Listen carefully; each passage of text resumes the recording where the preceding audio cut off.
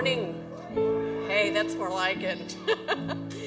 want to welcome everybody here to First Baptist Church Gray Summit. I am Chris Harst. Want to welcome any new guests that we might have and uh, ask that you would please fill out one of the white cards in the back of the pew. Um, and also to say welcome to those of us that we have online. If you would please, uh, if you text 636 uh, 742 1011, say hi. And for anybody else online, if you would please, you can hit a like or comment. Got a few announcements and we will get started. So, first of all, Wednesdays at 5:30 we have Easter choir rehearsal. See Miss Sarah. Wednesday, 1st of March, 9:30 a.m. backpacking at Gray Summit Methodist Church. Thursday, we have March 2nd, 4:30 p.m. deacons meeting. Saturday, March 11th at 8 a.m. is men's breakfast. Is that still at Franklin's? Franklin so far. Okay. And then I'm sorry, March 20th to 23rd, we have prayer meetings for Engage Conference. You can see the bulletin about that. March, uh, I'm sorry, March 22nd through 29th is the Engage Conference itself. And then April 19th through the 21st is the FBC Gray Summit Women's Conference. Again, you can see Miss Sarah Schmidt for more information. Brother Tommy. Thank you, Miss Chris. Hey, uh, got another thing before we pray. Got another thing that is a need of ours. Uh, from nominating committee, we need social committee members. Uh, what does social committee do? Social committee does some of our big events. Uh, Fall Festival is the first one that comes to mind, right? They help out with the Thanksgiving banquet, and they do other things throughout the year that are important. And we're, we're, we could use some help in that area. And so, if that's an interest to you, would you come see me? Would you come write me an email on the uh, with my email with the uh, on the bulletin there, tschmidtministry at gmail.com. Would you write me and tell me that that might be an interest to you? Because we could use some help with that. Social committees met, and uh, we've kind of determined about uh, among ourselves, hey, we could use some extra people in here. So if that's something that you can do and you might be interested in, or you might just want to ask some questions about, you come see me, and uh, I can set you up with the right people at least. And uh, that would be a great help to me as well. Hey, let's pray, and then we're going to have the prelude. This was a great moment. Somebody mentioned on Wednesday night, last Wednesday, that they love this prelude time because it gives them a chance to breathe and to still their heart before the Lord. And so I invite you to do that very same thing as we uh, begin our service. Let's consecrate ourselves to the Lord. This is a day that we will observe the Lord's Supper too, so just prepare yourself in your mind for that and what that means. And let's build some space so that we can, we can dwell on the Lord. Let's pray together. Father, we thank you for this day that you have made and you've given to us. Lord, let, let us consecrate this time on your day that we might honor you with our, not only our words, not only with our singing, not only with our hearing, not only with our, our response, but Lord, just our heart as well, our spirit would we would love you with all of our heart, soul, mind, and strength as you've given us, you've told us to do. And we pray, Lord, that it would overflow into love for our neighbor, Lord, that we would love to tell uh, our, our neighbors about Jesus and about your love. And we pray that you would be glorified in this time that we have together. And, and Father, we would be transformed more into the image of Jesus. We pray in his precious name. Amen. Let's hear the prelude together.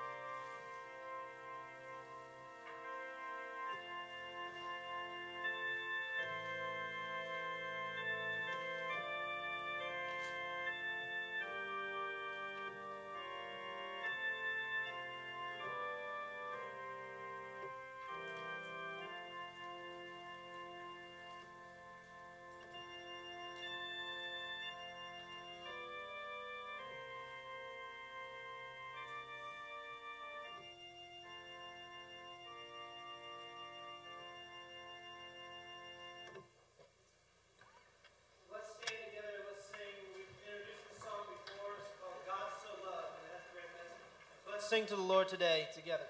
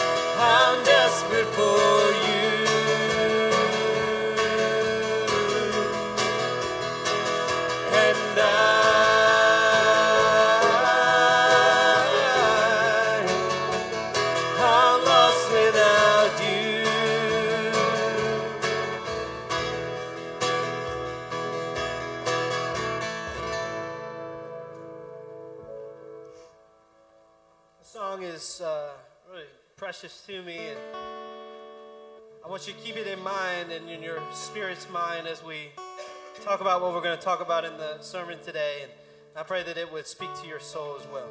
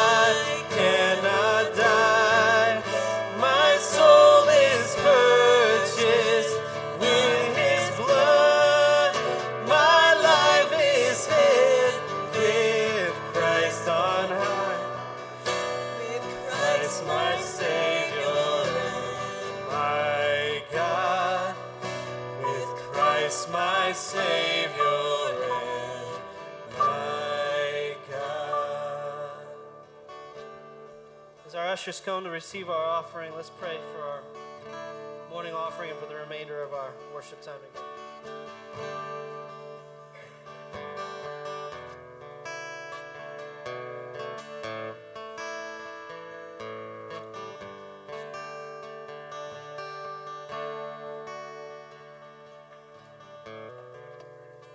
Just thank you for this opportunity to be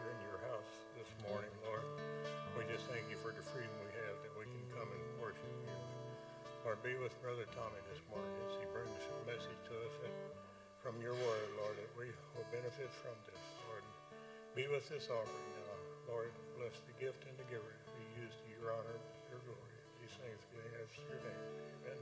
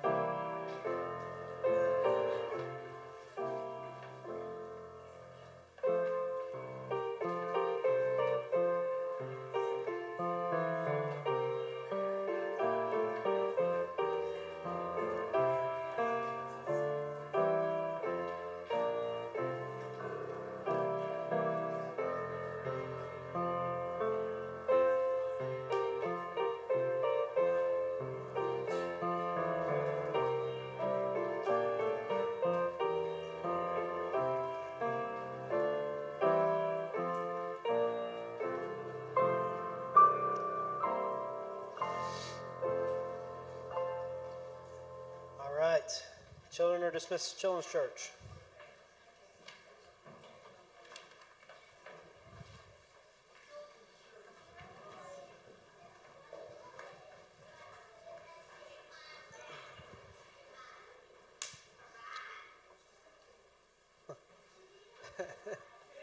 One of those kids was like, all right. It was awesome. cool. It is amazing how technology has changed us, isn't it?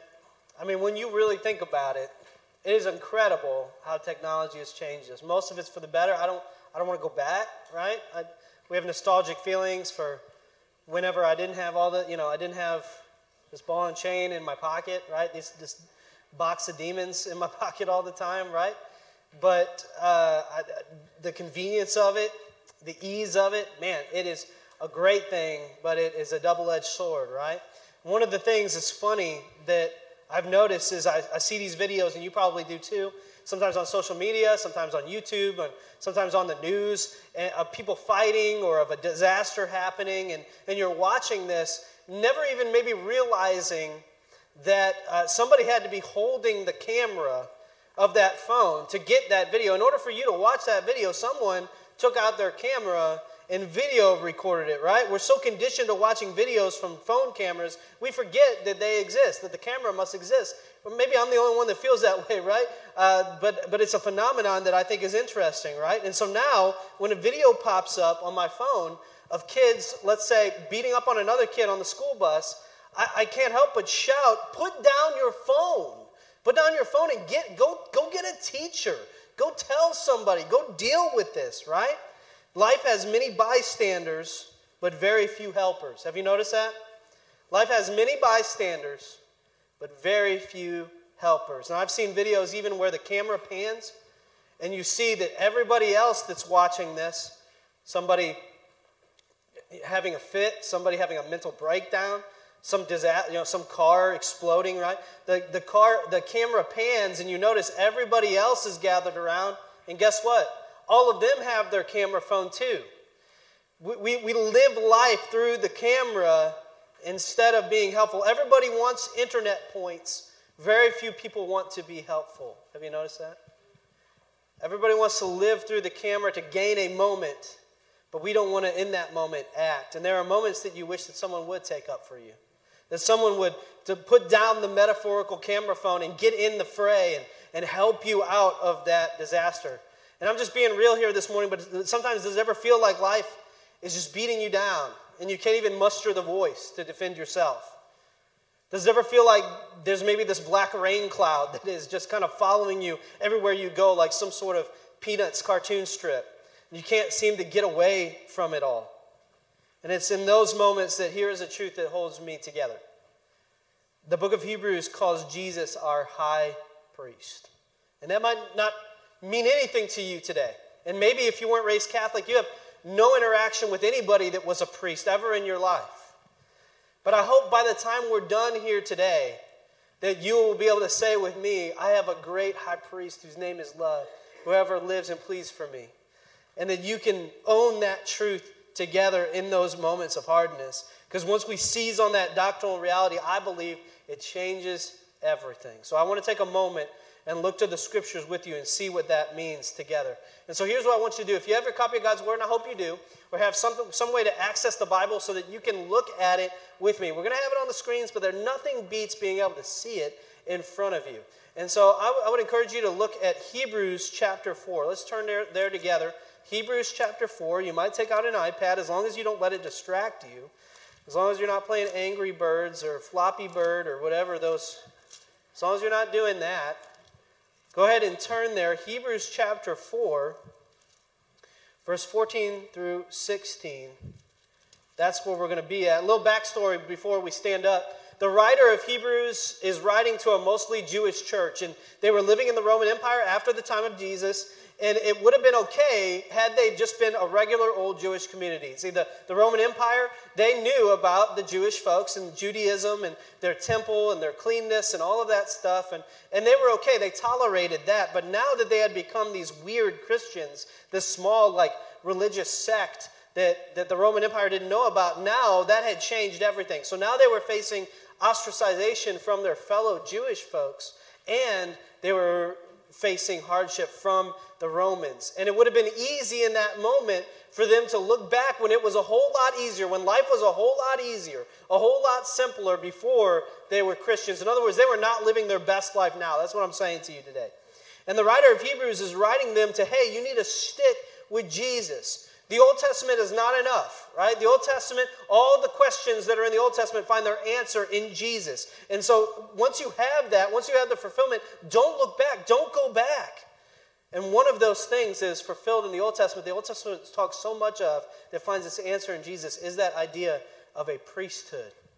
And so I want to read this, and then I want to talk a little bit about that, and then we're going to jump into to all the things that we're going to talk about. So if you found that, if you'd stand, let's read Hebrews chapter 4 verse 14 through 16. And, uh, and then we're going to explore this. Let's go. Therefore, since we have a great high priest who has passed through the heavens, Jesus the Son of God. Boy, we're gonna we're just gonna we're gonna we're gonna wring this for all the water we can. This is gonna be great.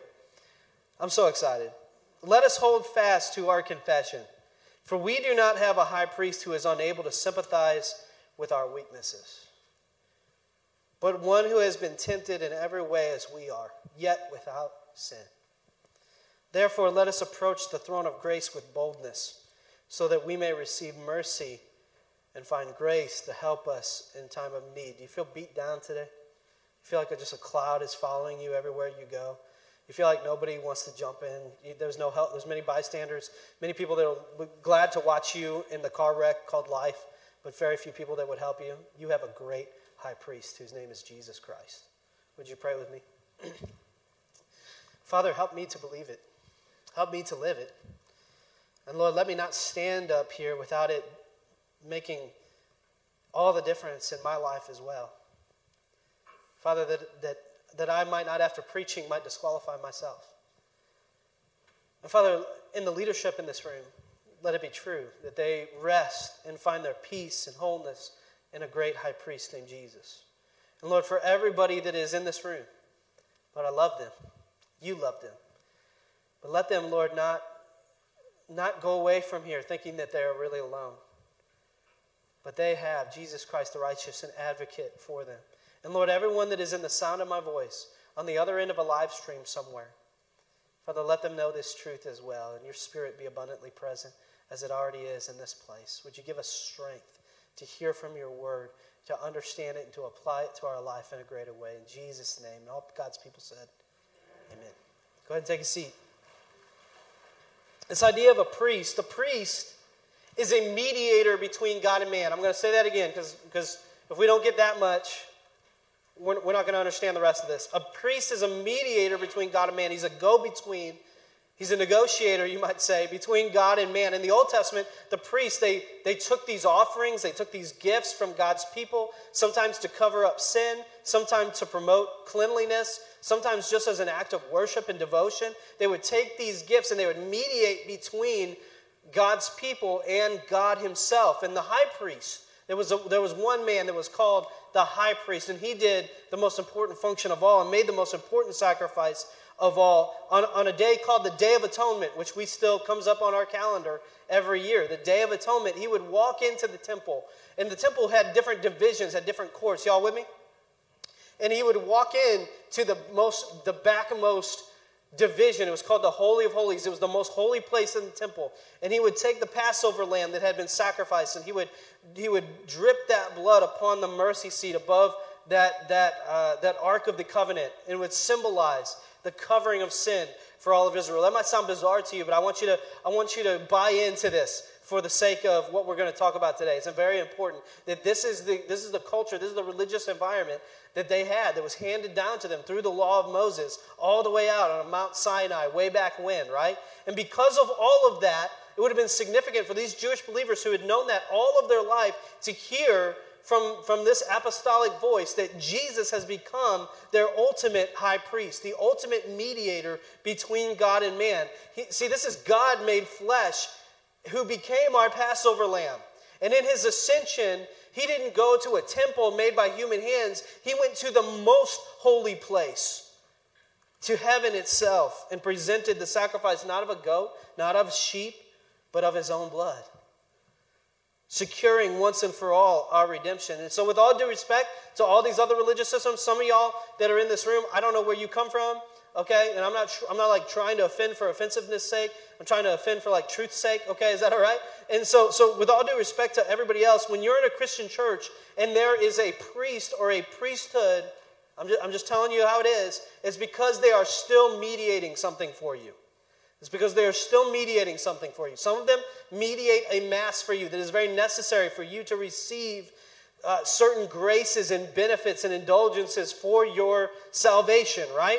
Some of them are mediating a covenant that can only be found in their church, and they say, We have the authority. We alone have this priesthood. You, you can't get it anywhere else. And so if you come to us, we, because of this priesthood, we will mediate this special covenant between you and God. Or the sacraments in general. When we baptize, we really mean it, right? Because we have this priesthood. We are priests to God. But as I read my Bible, we have one mediator between God and man, the Lord Jesus Christ. That's it. That's it. That's what the Bible says. So I've titled this message, Jesus, our high priest. And I believe this I believe that Jesus acting as our mediator significantly changes our life. I mean, it's too broad for me to narrow it down more than that, but we're going to talk about a few ways. And because Jesus is our high priest, I want to look at three significant changes for our Christian life. I want you to look first at verse 14 with me. If you still have your Bible open, we need to clear the fog of what is happening so that we can understand what is going down here. Our translation said, Therefore, since we have a high priest, whenever you see a therefore, you need to figure out what the therefore is there for. And so in the verses before, it talks about how everyone must give an account before God. But thank God that we have a mediator in Jesus. He says everybody will have to stand at that judgment seat and will have to give an account to God of, of what they have done, and they will be judged according to their works. What do we do? All of us have sinned and fallen short of the glory of God. How could any of us stand before a holy God? Thank God, therefore, you have a great high priest whose name is Jesus. And he passed through the heavens, it says. And that refers to the way. You got to stay with me now. The high priest, he used to cross through the curtain, through the curtain in the temple to get to that most holy place. Now, Jesus has passed through the heavens, through the most holy place, to a place no earthly priest could ever go. The temple was just a shadow of these heavenly important things. And the writer of Hebrews then he says this He's our high priest who has passed through the heavens, Jesus, the Son of God. Why is that significant? It's significant because that's the very first time the book of Hebrews says the name of Jesus. Every other time, in those first four chapters before that, he says, the Son. He says some other variation of that. This is the first time the writer of Hebrews says, Jesus, the Son of God. And how this writer refers to Jesus is very important. Jesus is his earthly name given to Mary by an angel. It refers to his humanity. He is both Jesus of Nazareth and he's something else. He's the very Son of God, God in human flesh. Both of these ideas you must hold in tandem to understand how Jesus could ever be our mediator. See, Hebrews 2:17 says, "He had to be like us, like his brothers and sisters in every way, so that he could become a merciful and faithful high priest in matters pertaining to God to make atonement for the sins of the people." Let me tell you something. It would be very difficult for, for there to be a mediator that is not human. He could not mediate between God and man if he did not really become God in flesh, if he only appeared to be human, if he was some sort of demi, demigod figure like Hercules, right? This doesn't work. He, he's not that He is fully 100% a human, and it would be impossible for a go between to do a job if he was just a human, just a sinful human, just like you and I. So in Jesus, we find something very, very different, don't we? We find knitted together supernaturally in ways we can't even wrap our minds around. We have the essence of God in human flesh. That's the mystery of Christmas that we talk about every year. It's the mystery of the incarnation that God, the Word became flesh and He dwelt among us. That though he appeared just like you and I and had the same temptations that you and I have, same, had the same frustrations that you and I have, he is something altogether utterly different at the same time. He is the God made flesh, so he can be a great mediator for us. And for those who are struggling in their Christian walk today, here's what it all means. Jesus becomes our high priest. It changes everything, number one, because it allows us to hold on to the truth with perseverance. It encourages us to hold on to the truth with perseverance. Sarah and I, a while back, we were at the WMU mission celebration. And we were there early and we were trying to help get things going. It was a big, massive church with big stairs and, and big everything, right? And we had to haul these nine foot tables across the building. And the, and the hard part was that we had to go upstairs with them, right? And so Sarah would go first, and I would, we would haul these nine foot tables. They weren't really heavy because I'm a big muscle guy, I get it. But uh, they were kind of awkward, okay? And, and Sarah, I could tell, was having a little bit of trouble, so I had to, you know, I had to really get my muscles going, all that stuff. So what we would do, and I, I, I, this is probably not good. Don't tell anybody this. Don't tell the church we came from that we did this. But we would get these nine foot tables up the stairs, and I could tell Sarah was, you know, kind of hurting, right? And so we would put them down on the carpet, and we would just we would start to slide them. That's probably not good for the carpet. Don't tell anybody that we did that. But uh, my secret, you know, it's between you and me, right? And everybody who can watch it on the live stream we were sliding it on the carpet, right? And I don't know how many nine foot tables we did, probably a 100. No, not that totally, you bought into it. You totally bought it, right? It was such a fish tale. It was probably the third one in. I was sick of it. And so what I did, Sarah was in front of me. We got the table up there and we placed it on the carpet. And then once I once she started going, I let go and I walked away. And I and I and you know what? She was doing great. Okay. She was doing great. She was hauling that table. I was getting my little rest in. I was feeling pretty good about it. Everything was going fine until she looked back and went, "Hey!" and then dropped it. I mean, I mean, she was doing great until that moment, and then she dropped it, lost control of it. It was like one of those cartoon characters that runs off the side of the cliff, right, and doesn't realize that they've done it until they look down, then they fall, right? That's how she was, right? And it made me think about the things we hold on to, right, and the things we need help to hold on to. God's word says, hold fast to our confession. What does that mean? Our confession is the truth about God and His word. And, and these believers were struggling to be faithful. They, they were struggling to hold on, right? They were struggling to hold on to the truth and to, and to, and to let, have a claim upon it. And they thought maybe this, this whole life thing would be easier before Jesus. I, I wish I could just go back so I wouldn't didn't have this hardship of following Jesus and, people looking at me weird and people taunting me and people excluding me. And, and, maybe I could just go back to when it was easier, right? And our temptations today are a lot different, but we struggle with those same thoughts. We say, man, it would be a whole lot easier if we didn't do that. The, the problem is, is, you know, I, I, foreign missionaries fear the raised spear. The worst we have to fear is the raised eyebrow. We don't have the same temptations that they do, but we struggle with those same thoughts. but we have a high priest who's passed through the heavens for you, who made the ultimate sacrifice for you. So he says, hold on to the truth. This is worth holding on to. All the questions that you have, they find their answer in him. All the questions that those Jewish folk had in the, in the Old Testament, how does this all work? How are we ever going to get clean? You ever read the Old Testament? Right? You get to the end of it, and, and they're still broken. They're still going through patterns of sin. There, there's still no answer ultimately for this people of God. And then Jesus comes.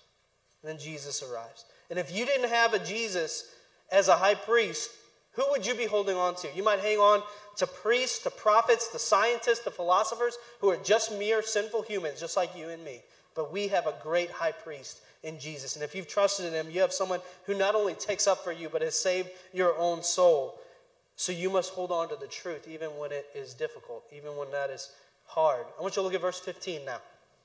It says, For we do not have a high priest who is unable to sympathize with our weaknesses but one who has been tempted in every way as we are, yet without sin. What that is, is that's a restatement of Hebrews chapter 2, verse 18, which says this For because he himself has suffered and tempted, he is able to help those who have been tempted. This is what introduces that chapter, introduces this idea of him being a high priest. In our verse that we just said, added an important element to that. It says, Yet without sin. He became in every way like us. He was tempted in every way.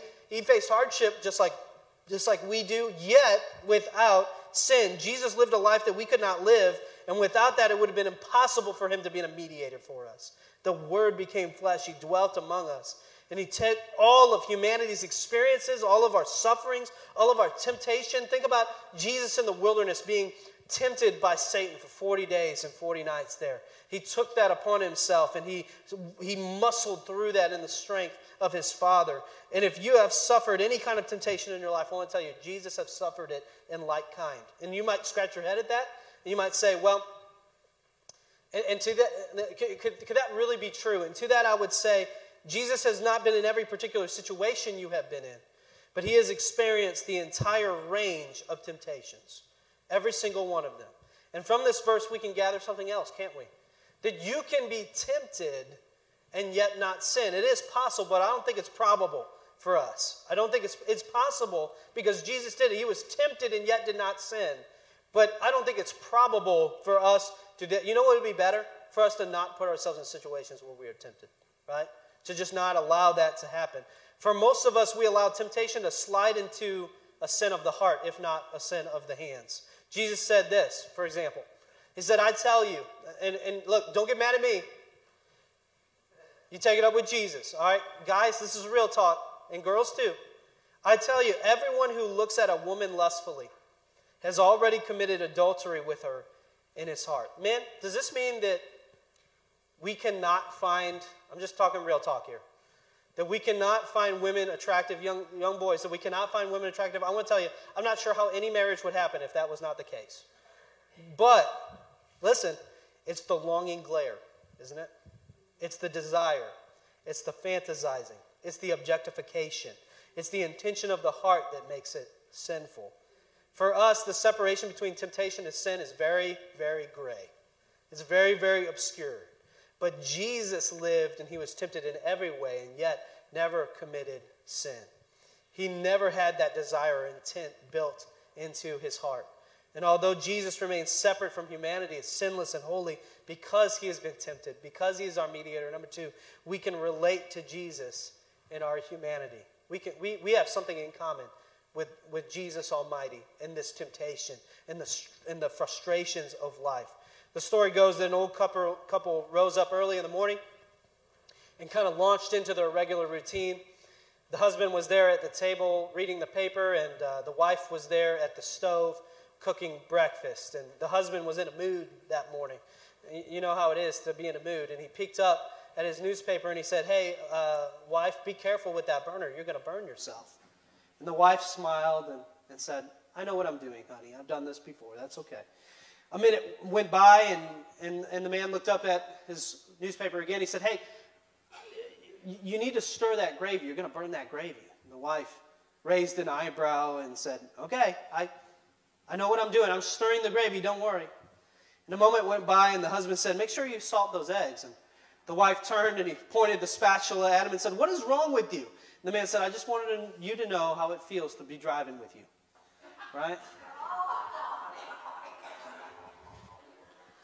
I just want someone to know how I feel. Have you ever felt that way? I just want you to know how I feel. Have you ever felt that way? But in Jesus, we have a Savior, listen, who sympathizes with our weaknesses, our frustrations, our temptations, and He has conquered every one. He's also truly felt each one of these problems and yet has mercy and love towards us. Isaiah 42 3, when it talks about the Messiah, you need to listen to this. Somebody needs to hear this in this room. Isaiah 42 3. When he talks about the Messiah, it says this A bruised reed he will not break. Some of y'all like a bruised reed today. You just feel like you can't take one more thing. And, and the Messiah, he is gentle, he's tender towards you. A bruised reed he will not break, and a smoldering wick. Some of y'all like a smoldering wick. You've been burned so many times. Even walking through this door was hard for you this morning because you've been burned so many times. You're so done with fake people. You're not sure you can deal with this religious stuff. You're like a smoldering wick. Some of y'all watching online, you're like a smoldering wick. You've been burned so many times you can't even count. He says, A smoldering wick he will not snuff out. Thank God Jesus is tender towards us. This is not a Messiah that is detached from our experiences, that, but he has walked in human shoes. He knows the feelings that you and I feel. And we never have to sit and wonder if the triune God understands us. We never have to. Our Savior does not sit in heaven aloof to the problems of humanity and yet judging us anyway. And it means that nothing you could go to Jesus with will surprise him. Nothing that you would, could pray to him, that you could confess to him, that you could confide in him would ever surprise him. If you say, if you say this, if you say, Jesus, I'm thirsty, I'm hungry, and I'm in pain.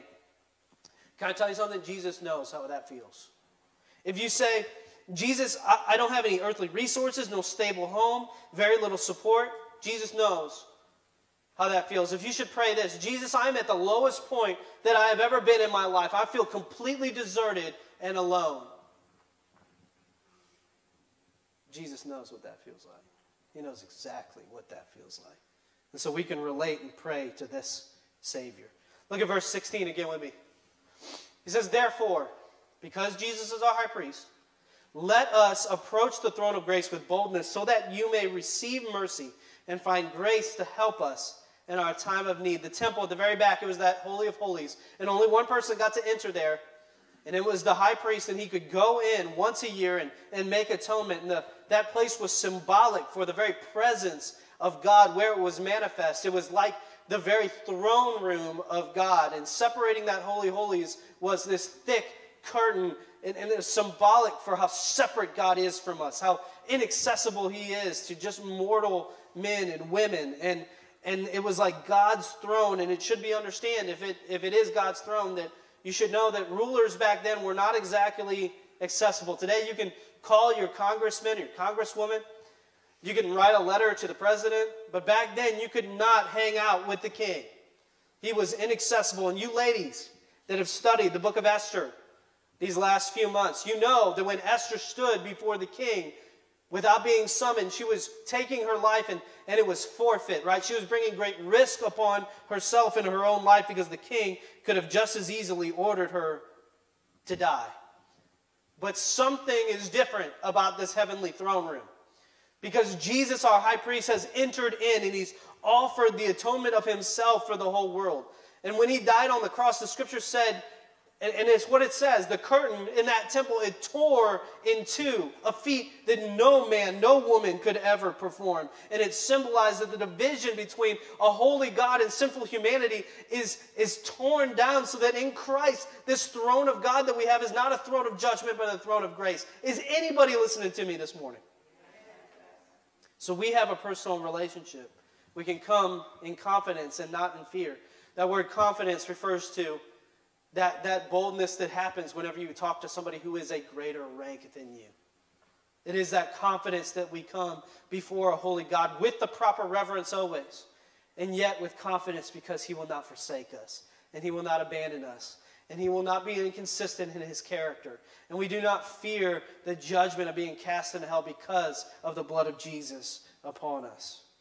We're still reverent before that God, but we know that this throne of grace issues mercy and help for those who are in Christ. Because Jesus is our high priest, number three, we approach God with confidence. We can hold on to the truth, we can relate to Jesus, and we can approach God with confidence. Everybody I know right now is talking about Chat GPT. Anybody talk, heard about Chat GPT? Nobody in this room. It's a couple of you, right? It's AI, and it's supposed to be the next revolution, next evolution in technology. Some say that it will replace Google. And Microsoft has already made a deal to integrate this AI technology in their search engine that nobody uses called Bing, right? Maybe that will change. Uh, that's like Google Plus, right? So Bing is, is, is already acquiring, Microsoft is acquiring this, this AI that takes all of the information. I don't know how it works. I'm just, I'm shooting from the hip here. It uses all, I imagine, all of the internet, right? All of the internet resources to generate uh, a conversation with you. And it's, it's pretty smart, right? And it can write you an answer based on whatever prompt you throw in. If you tell it to write you a poem about chicken strips, it will write you a poem about chicken strips. And listen, I would not be a proper pastor using this as an illustration for my sermon today if I did not, in fact, ask it to write a poem about chicken strips. So here we go. Chicken strips, oh so fine, a tasty meal that's always divine. Juicy and tender, oh so nice, a dish that's sure to entice. Golden brown and crispy too, with every bite a flavor anew. That was a, that was a good one, actually. No, no, no, we ain't done. A perfect snack, you, you didn't get off that easy. A perfect snack, a perfect meal, the kind of food that makes you feel, wow. Whether with fries or on their own, chicken strips are never alone. A classic dish, a timeless treat, one that's always sure to compete.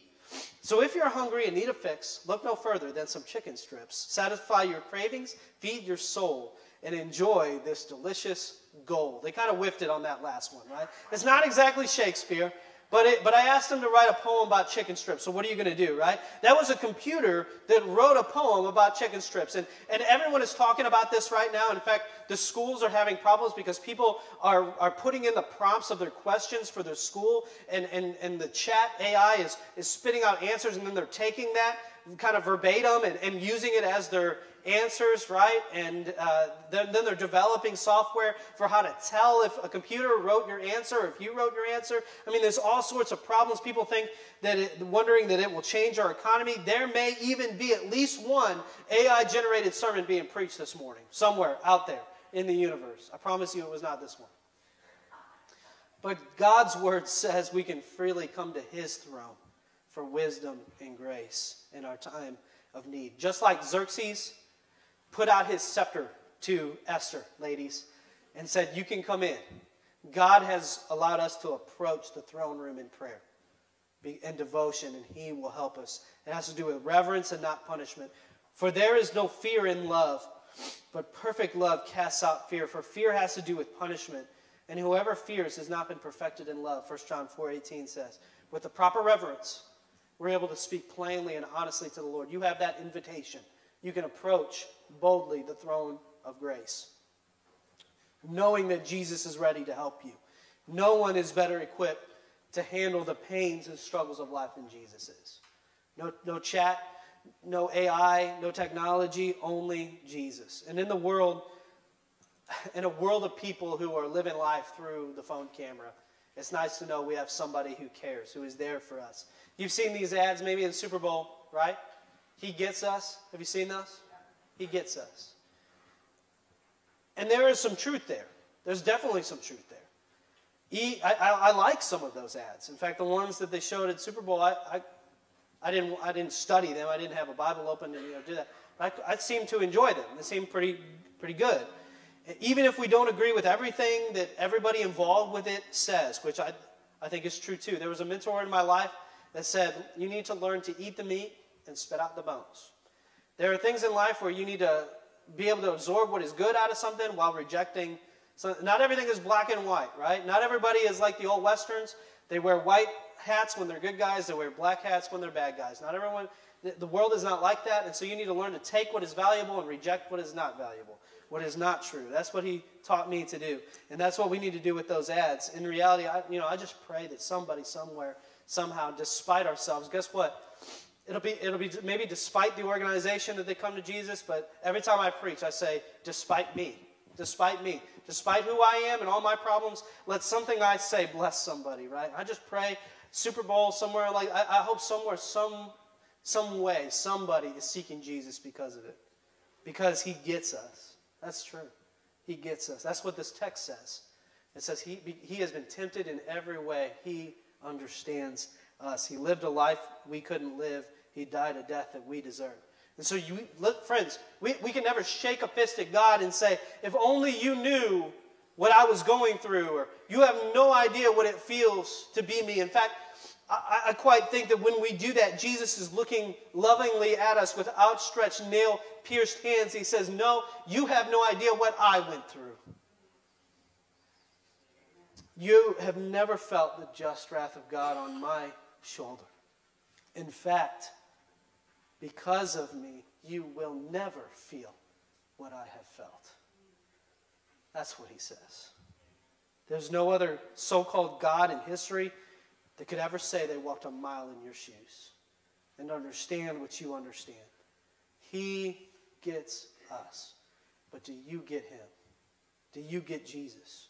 Did you know that he died for you? That he was buried, that he rose again three days later? Have you placed your trust, your faith in him, and the sacrifice that he made for you?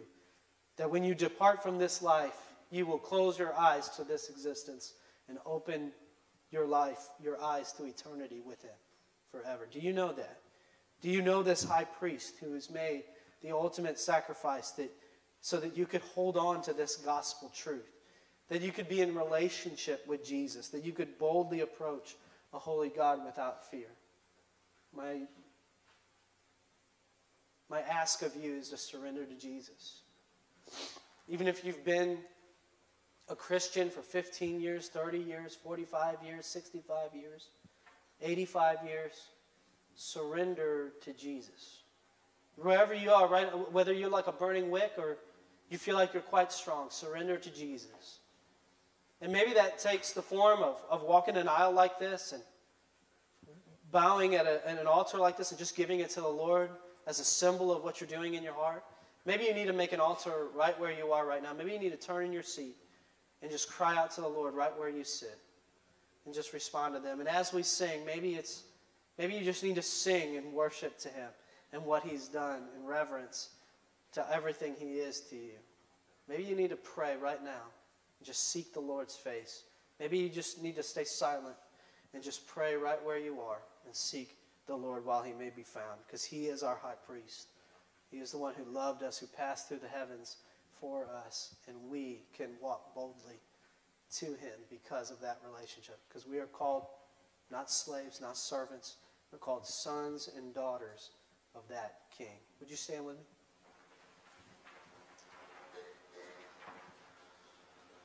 Father, as we approach a moment of decision, Lord, this is a moment, even as we sing, that folks can respond, can seek your face. Lord, let this be a moment where folks in the sound of my voice, in this room or in a live stream somewhere, might cry out to you. Say, Oh Lord, that's me. That's me that feels so alone. Would you remind me that you walked in difficulties that I walked, and yet without sin? You serve as a model for me. Oh Lord, maybe, maybe there are some who say, man, it just seems like life would be so easier without this stuff. Would, would you remind them of your worth? And your glory and the, what it means to hold on to truth. Young hearts in this room, what it means to securely hold on to truth, even when they see people letting go of the truth all around them. Father, to the one who cannot but manage a prayer, would you give them that boldness that says, You can go? Like Xerxes, who holds out a scepter, says, You can, you can approach the king. Father, you, you get us. Help us to understand you and to know you. so that we might be found in you and your power. Lord, let there be business done with God in this room today and outside of this room as we seek your face, as we seek to honor you. We pray these things in Jesus' precious holy name. Amen. Let's sing together. Let's respond to him. Jesus is tenderly calling you home, calling today,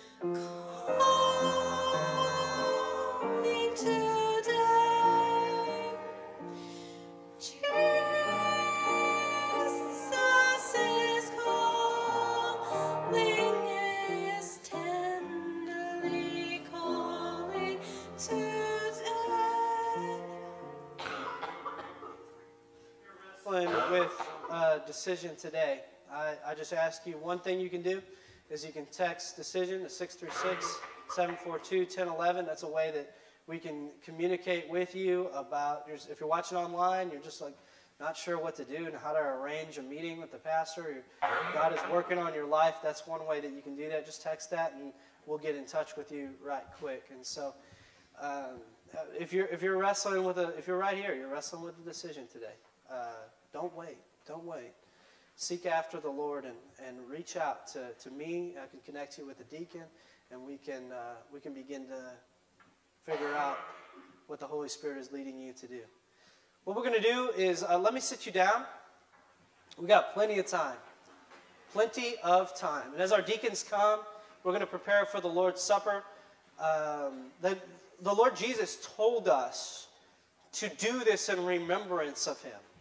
And so on the night that he was betrayed, there were the disciples were there in the upper room, and they were uh, they were having the Passover meal together. Here in a few weeks, we will have a uh, a mock Passover together, a little bit of a small Seder meal together, and we'll be able to explore some of the richness of that. But there they were. They were. They were. All, Jesus and all of his disciples were Jewish, and they were celebrating. They, they were in obedience to the Old Testament, and they were taking the Passover. And Jesus reinterpreted some of the elements of that Passover and gave new meaning to them as an ordinance. What that means is Jesus commanded us to do it, and so we do it, right?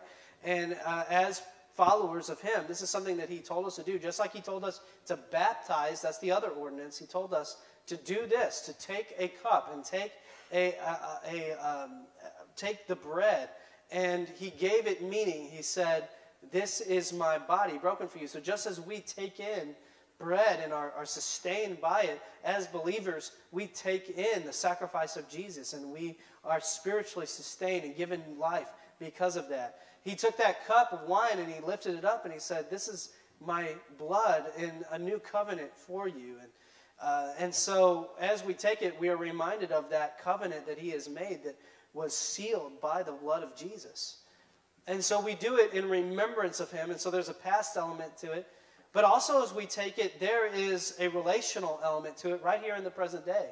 We take it together and we're reminded that just as there is one bread, just as the, uh, there is one cup, we are one body. And so, my challenge to you is, is to dwell on the gospel message in the past, and yet, in this moment, in our time of reflection together, to think about your relationships, right? Maybe even in this room, and folks that are outside of this room and to be in good standing with Him, to maybe repent of some things that are in your heart that would stop you from taking this with a pure, uh, pure heart. To reflect on that. That's what the Scripture says. It says to take it worthily. Now we come to the gospel unworthy, and so that's the point. Is not to be good enough to take the Lord's Supper, but the point is to have a good heart in taking it. That's why Paul said it. The Lord's Supper reminds us of our unworthiness of salvation, and yet Jesus made a way. And so, but we need to take careful consideration to our heart. So as we take it, we remember what he has done in the past. We remember, we celebrate what he is doing right here in our family of faith together. And then what it says, Paul says, for as often as we take this bread and take this juice, we are proclaiming the Lord's death until he comes again. So you see, it has a past element, it has a present element, and it has a future element that, that as we are obedient, 2,000 years later, the church is remaining to be obedient to take this ordinance that Jesus has come and, and Jesus spilled his blood. And we are proclaiming, there's an evangelistic element to that too, isn't there? We're continuing to proclaim the Lord's death until he returns again. And so, as you meditate upon the Lord's Supper today, would you reflect upon our mission, our collective mission together of proclaiming this gospel? That word proclaiming, I'm reading a lot about this lately. That word proclaiming has to do with heralding. The king of that day, they would have heralds that would go out and they would proclaim good news. And sometimes they would go in a city and they would blow the trumpet and they would say, The king is here in your town. The king has come. The king, the king came back from his war. He has proclaimed victory. He defeated all of his enemies. And in the gospel, we are like heralds proclaiming the king has come and he has defeated his enemies. He has conquered death and he is and we are proclaiming victory over sin and death and shame in Jesus name. So we proclaim the Lord's death until he comes. Here's some instructions. Um, these are they look like a hourglass. On one side is the bread, on one side is uh, the, the wine. It is not uh, alcohol wine, it is juice. And on one side, uh, we will take the bread first. You can, when, as soon as we get it to you, you can begin to work that side. It's plastic. Sometimes it's a little difficult. You see somebody struggling, you feel comfortable. Uh, help each other out, right? That's a good way for us to be a family of faith together. And so uh, you can begin to work on that. It'll be a little noisy. That's okay. Uh, so we can we can work that, and we'll take the bread together. If you're not a member of First Baptist Church of Gray Summit of your name is not on a, official roll, but you name the name of Jesus today. You you can say in your heart, "I know Jesus as Lord." One because of Jesus, one day I will die and I will spend eternity with Him. If you can proclaim that, feel free to take the Lord's Supper with us today. Okay? Uh, we would love for everybody to be a member and have their name on that that role, but be it as it may, if you're here and you know Jesus, you come and you take the Lord's Supper with us. However, uh, this is what the Bible tells us to do. If you are, uh, if you are not a believer today, if you are here and uh, you are enjoying yourself, but you could say, I know that I am not a Christian. I'm not a practicing Christian. I do not know Jesus. We would ask you, in obedience to what the Scripture tells us to do, to go ahead and let that pass. And I'll tell you what I'll do. If there's anyone in this room who lets that pass because, uh, because you're not a believer, I will buy you lunch. Okay? I will do that. And because I'm not trying to exclude you from a meal. I'd be glad to have a meal with you and tell you about Jesus. Okay? All right? And we can make sure that next time we have the Lord's Supper, that you can, with confidence, take that element I would be glad to do that. We're not trying to exclude you from anything. We're trying to be obedient to what the scripture tells us to do. And this is an ordinance for believers. Does that make sense? Okay. So uh, I'm going to pray, and we're just going to spend a lot of time. We got plenty of time today. And so this will be a good time for us to reflect and to pray. I just invite you to confess your sins to the Lord as we pray, to, to just seek Him in your hearts, and let this time be a time of stillness as, as Barb plays and as the, the deacons help to minister and serve this. Let's eat it together. If I didn't say that before, you can work that packaging, but wait for me and we'll, I'll give instructions so that we can eat it together, okay? So don't jump the gun on that. But let this be a time that you reflect on. Remember what Jesus did for you. Re- remember what we have in this room and, and confess your sin to Jesus in this moment. And, and think about our mission together as we proclaim the Lord's death and what that means for you today. Let's pray. Father, we come to this moment, and Lord, we claim the words of 1 John uh, 1 9 that says that if we confess our sins, you're faithful and just to forgive us our sins and to cleanse us from our unrighteousness. Lord, if there is, if there is ha- a, a, a, hatefulness in this room, if there is anger in this room, is, if there's bitterness in this room, uh, if there's a grudge in this room, uh, if there's hurt in this room, Lord, would, would you help us to lay it at your feet right in this moment? That includes me and my family as, as well, Lord. And, and, Father, in the course of time, you, you, we, you know this. As our high priest, you know that we walk through hurt and pain, and we carry that like baggage with us, but you tell us to, to lay down our burdens at your feet. And so, Father, let us take a moment and do that. Uh, let, let us just confess it to you. Father, let there be people who are with bowed head and bowed prostrate spirit, Lord, confessing sin to you even now. Father, would you bring to mind what you did on a cruel cross as your blood spilled out, your, your body was torn for our forgiveness, so that the, the sins of the world, the punishment of the sins of the world was laid upon you. You, beca- you who knew no sin became sin that we might become the righteousness of God. Father, thank you. And help us to remember the cross and the empty tomb as we take this. And Lord, help us think about our mission. That this is a proclamation together.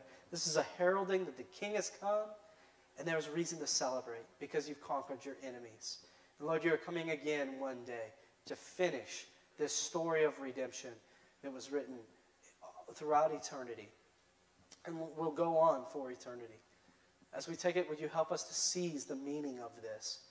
And Lord, let it be rich upon our spirit. Would you bless us with your grace as we approach that throne of grace with confidence, remembering what you've done and walking in obedience to the ordinance that you have given us. In Jesus' name, amen.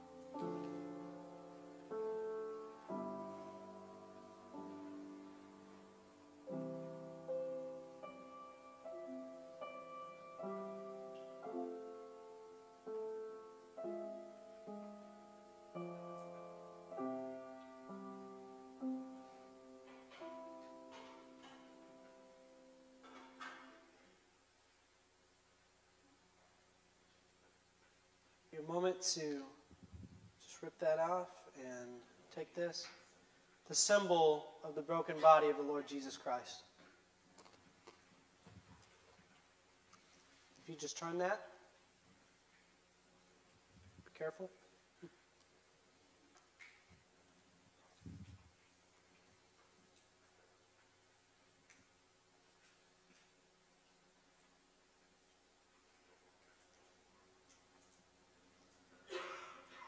The symbol of the shed blood of the Lord Jesus Christ.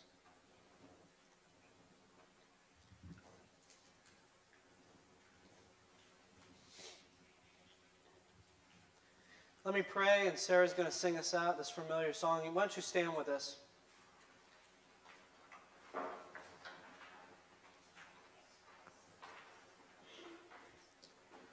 Father, we thank you for the cross. Just as these elements they enter in, Lord, because of your sacrifice, we have a spirit within us.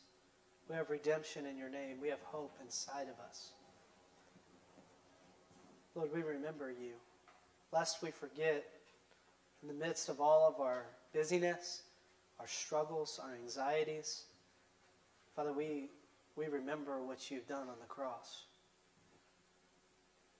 Lord, we proclaim it because one day you'll come and finish the story.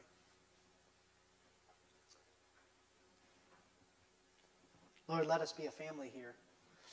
Let us confess sin, not only to you, but one to another that we might, as we partake of one bread, one cup, Lord, we might be one body together. Pray, Lord, that we have glorified you together as we remember what you have done and, and seek to walk in obedience to what you have told us. Let us now walk in love as we sing and then enter into our mission field. Lord, your spirit be with us to proclaim, to herald that same salvation to those that we meet. In Jesus' name, amen.